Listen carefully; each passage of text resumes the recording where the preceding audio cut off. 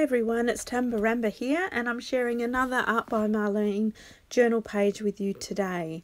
Um, this one is a nice bright one and she's a sweet little girl who's going to change her thoughts and change her world.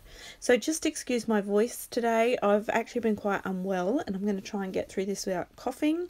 And also please excuse the videoing. I um, Because I've been unwell I actually ended up doing this late at night um, after sleeping all day. So there's a little bit of shadow I can't do much about it.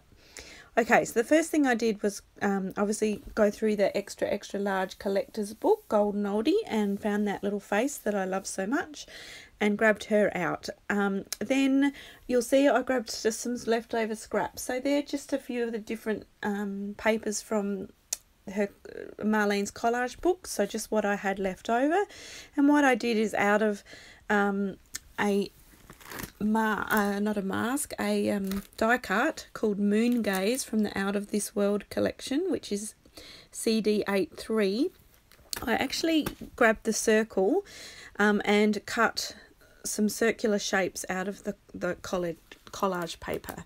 I really love cutting things with the collage paper um, with your die cuts because it's lovely and thin and it just, it's so clean. It never misses anything.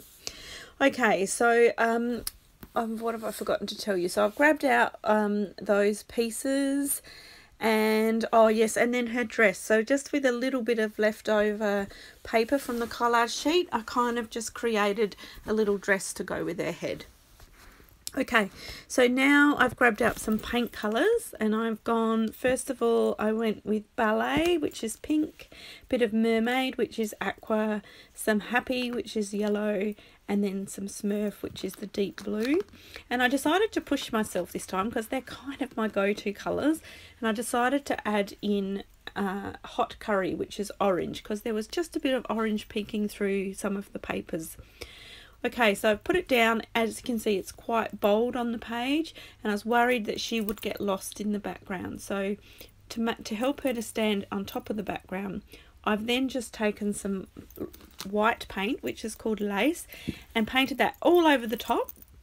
And then you have to work really quickly because the paint dries quite quickly. Um, I've grabbed an old Crafter's Workshop stencil that Marlene designed. Um, I think it's called Botanical Dream, TCW780. And um, I have actually lifted that white paint off through the stencil.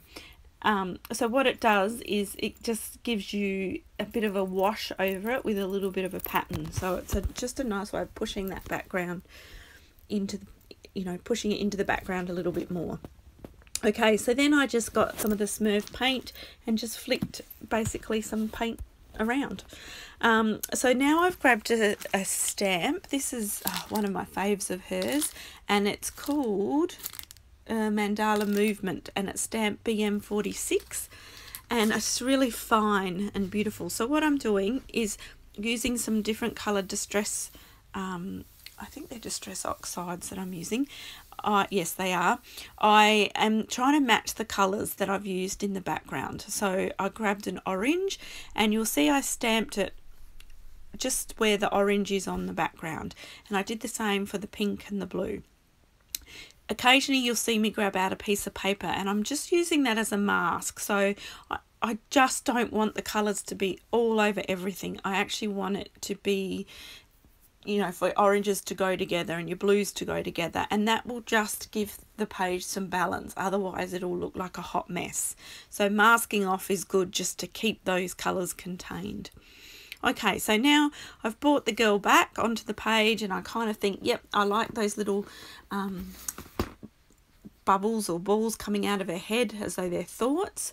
Uh, so this page was actually inspired completely by that quote. It just it popped out at me and um, I thought straight away of sort of bubbles around her head.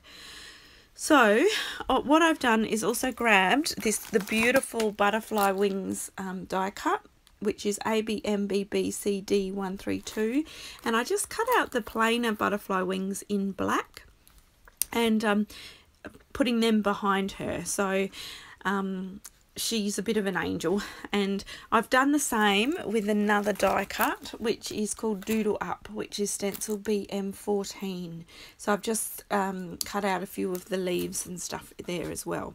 So you'll notice as I stuck this stuff down I don't stick I kind of put my glue more in the center and I leave the edges a little bit just because I never know if I'm going to tuck underneath. So it's nothing worse than ripping it up um, having to pull it up and ripping, accidentally ripping it. So yeah, I just leave a little bit and fill that gap in later once everything's where I want it to be.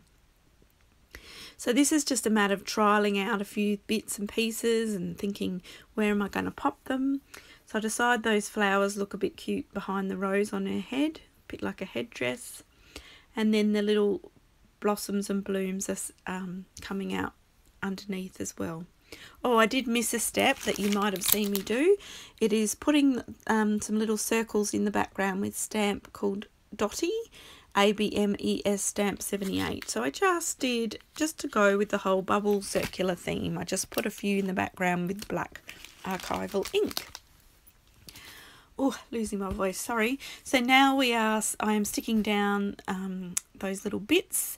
I've worked out where I want them and you might see I come in and stick down some little edges that might be sticking up as well.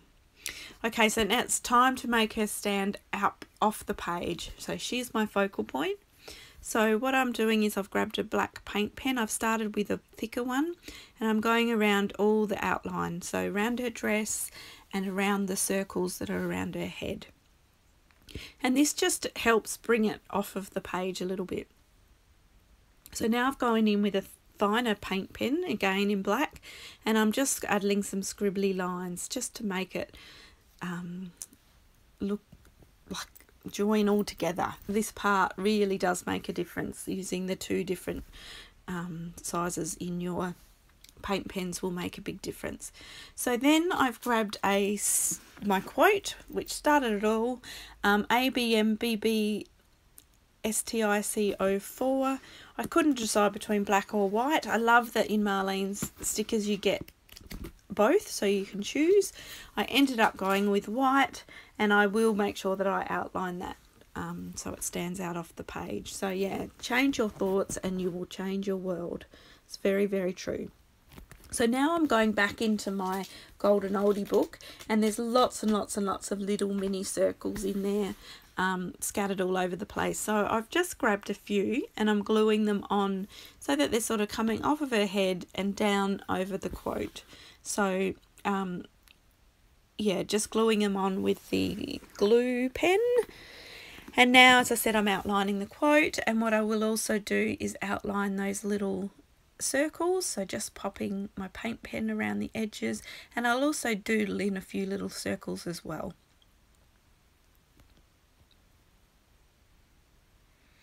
Now you might notice as I move around that I haven't stuck down the butterfly wings. I've stuck them underneath the dress, but I've left them to, to flap up so they kind of look like they're flying and just gives a bit of interest to the page.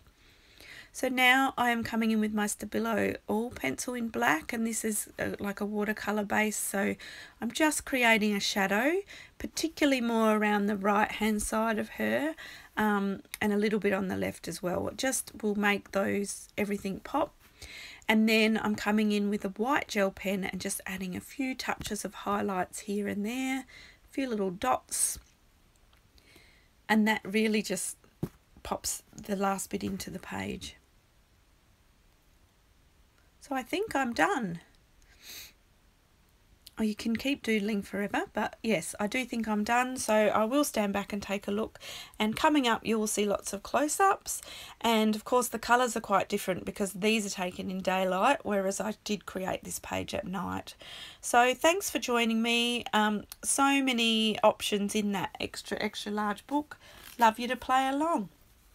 Um, I'd also love you to subscribe and even leave me a comment